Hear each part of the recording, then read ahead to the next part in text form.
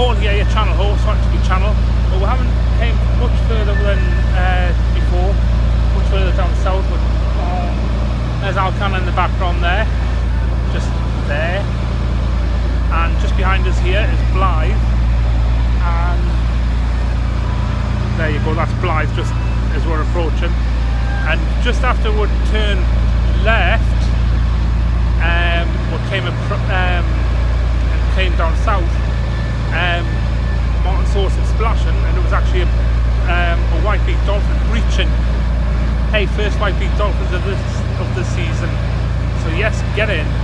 Um, I'm just actually looking in this gathering of birds all straight ahead of us on the other side of the boat. So yeah, really chuffed.